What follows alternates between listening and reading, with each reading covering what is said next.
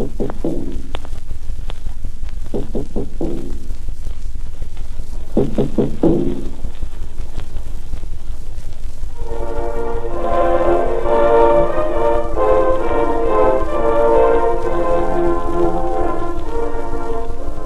er London. BBC sender til Danmark.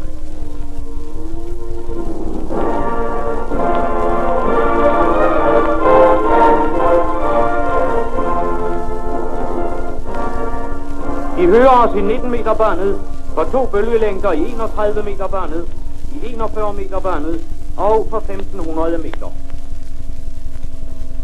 Sammenbruddet i Nordtyskland er komplet. Englænderne rapporteres ved den danske grænse. Kiel og Flensborg er erklæret for åbne byer. Fangetallet er så stort, at det er umuligt at tale endnu. Danmarks Frihedsråd har opfordret til disciplin de sidste timer inden befrielsen. Admiral Dönitz har haft samtaler i Danmark med de tyske myndigheder fra Norge og Danmark og har drøftet den fremtidige kurs i begge lande. Øst- og vestallierede styrker er nu sammensvejset over en strækning på 160 km, og næsten hele Tyskland er rent over ende. Den svenske presse har bragt for lyden om, at russiske faldskærmstropper skulle være landsat i Dyrehaven nord for København, og i dag gik der rygter i Danmark om, at russiske tropper var gået i land på Falster. Alle disse rygter savner en hver begrundelse.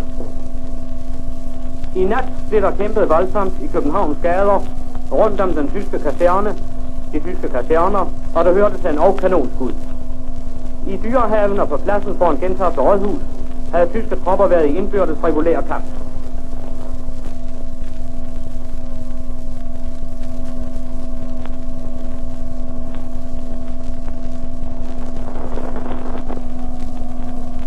I dette øjeblik meddeles det, at Montgomery har oplyst, at de tyske tropper i Holland, Nordvesttyskland og i Danmark har overgivet sig.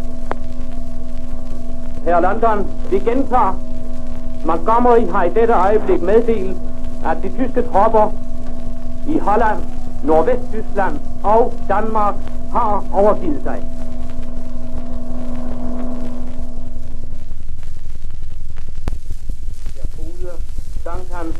Dagmar, Arnold, Bruce, Fatima, Sally, Tristan, Pan, Samuel, Ellie, Dora, Stine, Edmund og Axel. Det var en særmelding. Vi gentager. De allieredes øverste hovedkvarter meddeler. Alle de tyske styrker i Nordvesttyskland, Holland og Danmark har overgivet sig til feltmarskal Montgomery. Overgivelsen bliver effektiv kl.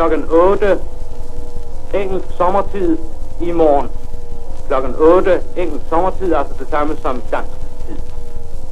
Overgivelsen dækker også Helgoland og de frisiske øer, men som sagt før ikke Norge. De eneste, dan de eneste tyske styrker, som stadig befinder sig i kamp, er de styrker, der nu står i Tjekoslovakiet og i Norge. Må jeg have lov til at slutte med, at denne aften, den største aften for jer hjemme, også har været den største aften for os herude. Vi tænker på jer hjemme, og vi glæder os til snart at ses igen. Denne hilsen må jeg nok have lov til at omfatte alle danske uden for Danmark. Og så slutter vi med nationalsangene. Thank you.